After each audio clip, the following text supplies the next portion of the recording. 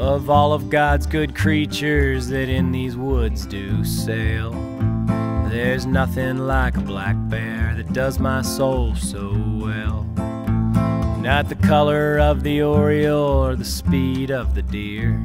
When it comes to a black bear, you know God is near.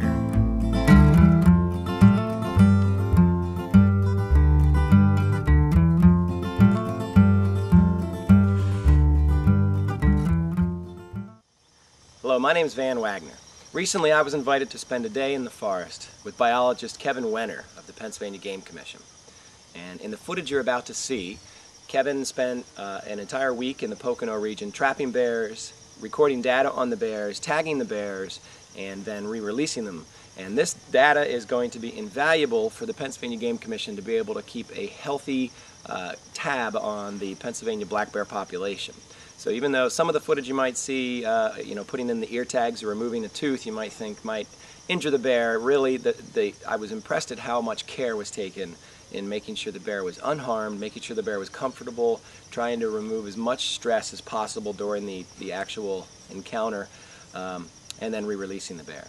In many cases, we were done in under 20 minutes.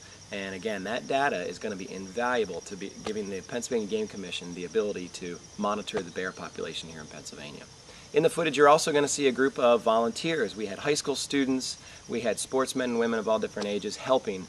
And uh, the one thing I will close the introduction with is how impressed I was at the dedication, both from the sportsmen and women, and also from Kevin Wenner, the Pennsylvania Game Commission biologist. Uh, we worked hours overtime and although the opportunity was there for us to quit early, Kevin uh, was very dedicated and, and, wanted to make sure we, we got a full days of research done, and even though that meant going well past his dinner time. So uh, you can be sure that your Pennsylvania Game Commission biologists are out there working to keep our Pennsylvania birds and mammals in very healthy condition.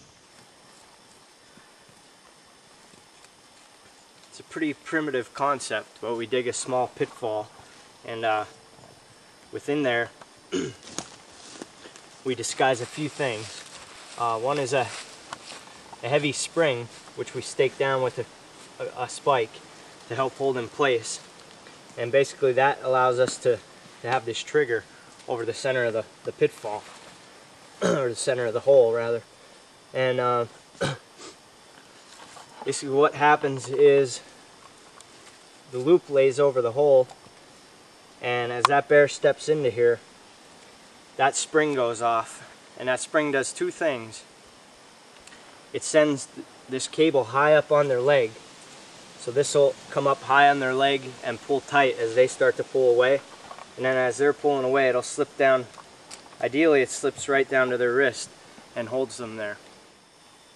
I once upon a strip mine upriver to the west dodging through the pines and the winds on the crest.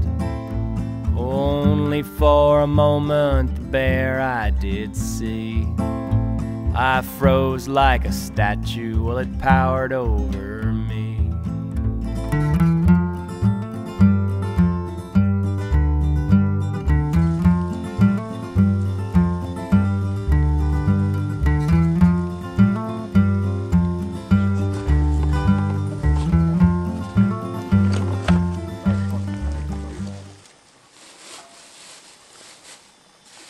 So what you doing? Picking up donuts for bait. The donut shops didn't save us any, so we went dumpster diving.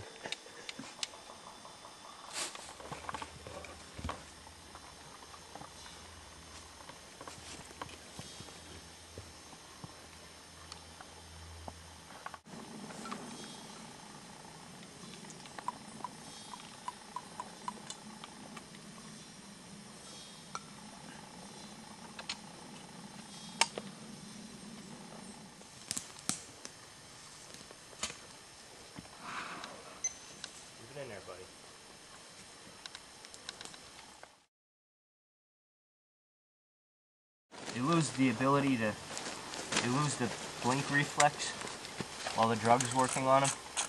So we put a, an ointment in there to keep the eyeball moist till we're done.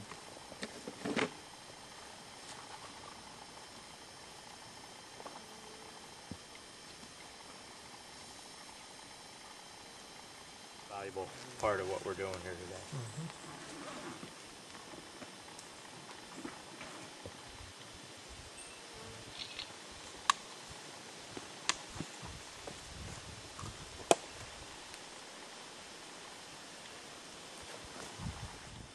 Uh, probably not gonna bother taking it. Uh,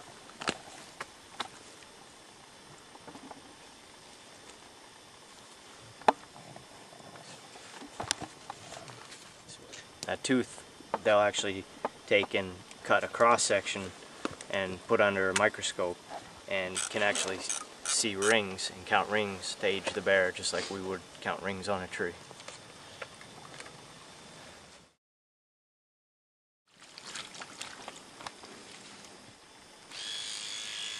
Give me the whole- His right ear tag number again. Two six seven zero seven.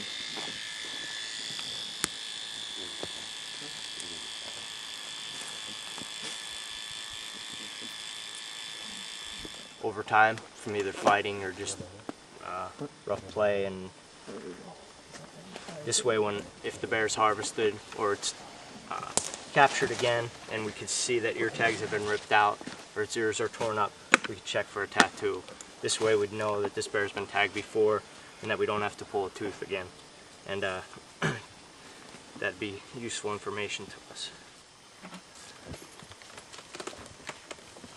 Will read the scale then once it balances out. One ten. 110? Yep. Okay. Now when we put them down, let's turn them that way. One more. Alright? what you got? Hey, so who are you? What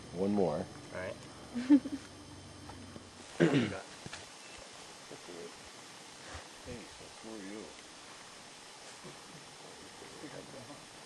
Doing here? You can do it. What happened to me?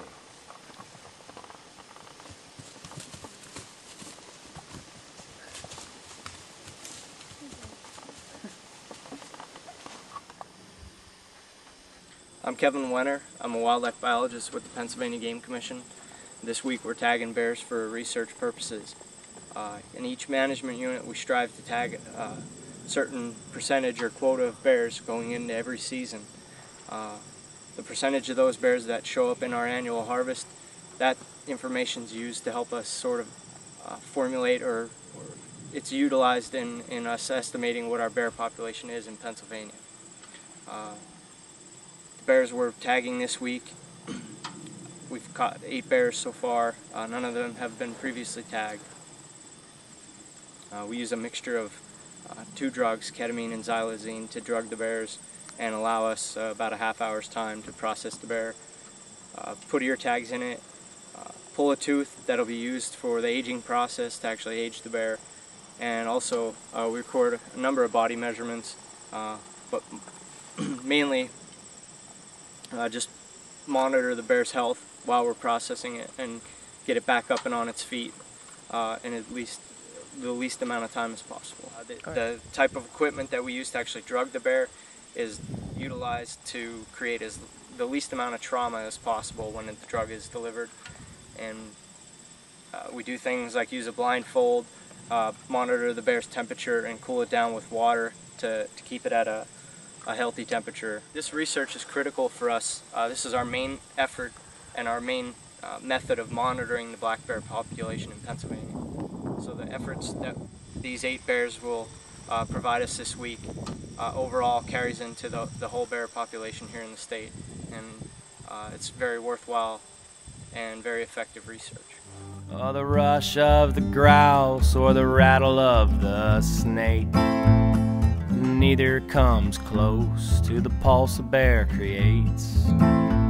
A heart will beat backwards, your thoughts freeze your face.